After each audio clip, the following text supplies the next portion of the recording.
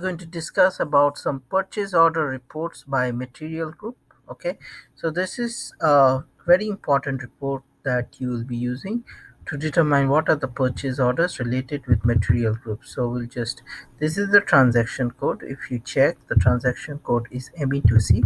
So if you execute here and here we will see all the purchasing uh, purchase purchase order with the material group okay? So if you scroll so here if you see if there is this icon that means it has a PO history.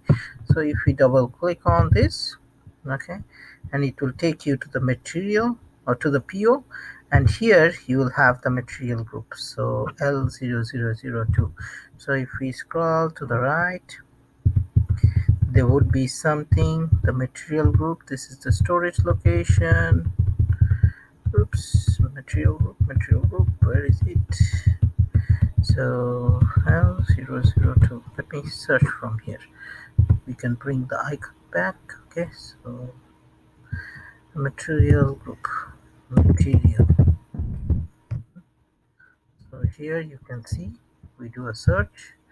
There is material group. So what I'll do is I'll just bring it up uh, so that you can see it.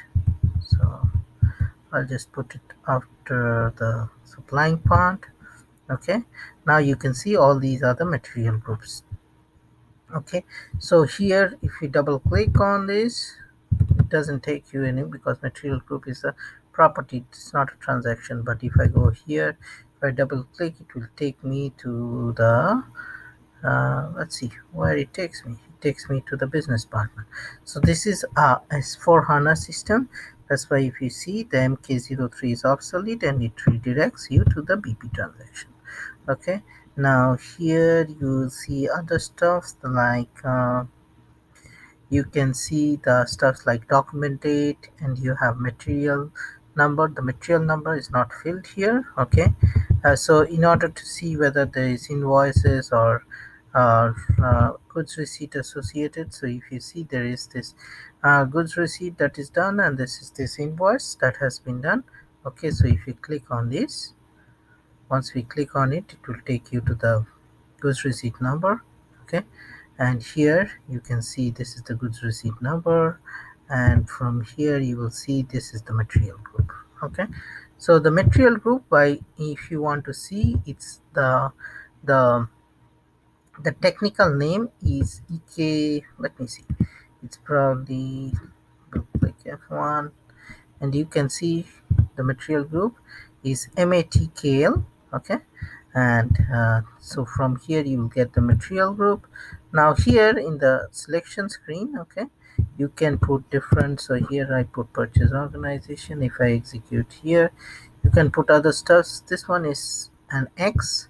We can put with with material number and then you will have a bigger list okay? So if we see now now we have more material number see? And this now you have a bigger list okay? So let's pick up one which has the material number populated okay? So we'll just click on this where we have the material number populated. Let's see. This is a material okay? If i double click on it this takes me to the material okay and uh, let's see check in the purchase order. Where is the material number? Okay it will be in the line. Okay and the material group is here. Okay now there are other features that we can that we can see. Let's see uh, scroll to the right. There you have the plant. You have the quantity.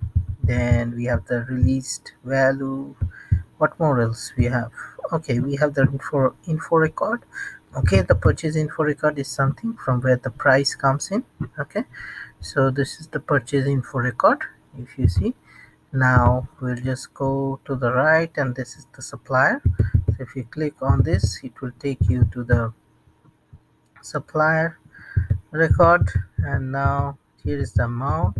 I want to make sure that we hit all the drill downs that we can be can be used. So this is very useful with the material group. Suppose you want to check because it's for taxability and other stuffs.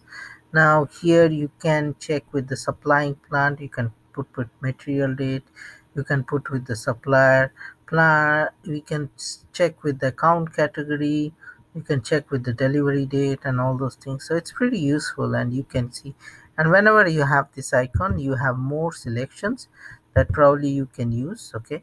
So if you see there are other selections that probably you want to use you can put vendor number you can put payment terms you can put payment in so it's very nice. So whenever you have this icon you have more fields that you can do okay? You can check. So this is pretty pretty nice and slick. You can use this all the time. And here you have purchase document item also. So if you see we can put uh, let's see whether we can put something unique okay? So so let's see we will say hmm, uh, the only problem with these things are you don't have so we'll just put delivery completed indicator and we'll say we want to see anyone that has the delivery completed indicator set x here and we'll execute this. Okay and now if you see we'll just take this out purchase organization this and we'll make it x and we'll just execute okay? And it will show whether uh, the it really shows the ones that it has the delivery uh, DCI indicator set. So if we go here if we so it will be in the invoice tab sorry. And here if you see the where's the delivery control indicator DCI DCI oh it's not set. So let's see. Uh-huh. Let's put uh, we go here. Didn't it get the delivery control indicator? Wait let's go. So we'll go here. We'll scroll down.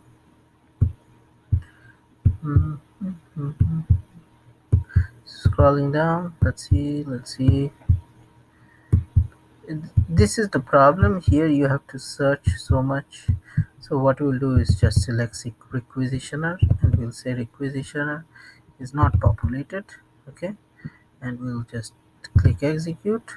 And here if you see now it has something so in order to verify whether it works or not you can double click on it okay? And if you scroll to the scroll to the left this is the requisitioner field is populated okay so this is one. Now let's see we can do for another thing. So what we'll do we'll click on this. Okay and now we can say suppose I think this is the item here. So we'll, we'll say something net order denominator settlement info record goods receipt partial distributed indicator invoice receipt gr based so let's see we can find some some field that we probably will use. So let me see whether the find functionality works. Control f no. That's the problem with this this particular feature is you cannot you don't have the find functionality so you have to go one by one to find something okay so let's try to find something. Okay final delivery. Okay let's select this one as uh, X. I don't know whether we have something uh, set like this. So we'll try. So and then we'll just execute now. And no suitable article so it's not there. So let's go and select one deletion indicator suppose that would be easy. I hope there would be some data with that. And we'll put as x and we'll make this also blank. And now we'll just select execute. And we'll select this one. And this will probably give me everything. Because that got um, refreshed. So let's go again. We'll go here. And we'll put deletion indicator. And we'll make it x we, we don't really know what would be the value so I'll put just or not equal to blank and so I'll execute. And now it's spinning. So when it's spinning it means it's trying to do something. So we'll see whether there is any error see it brings up all the items that is marked for deletion. So this is slick if you see again this didn't give me all the items that is marked for deletion. So so it's uh, it's it's either or so it sometimes it works sometimes it doesn't. So this is these are some of the features that you can use for purchasing document for material group.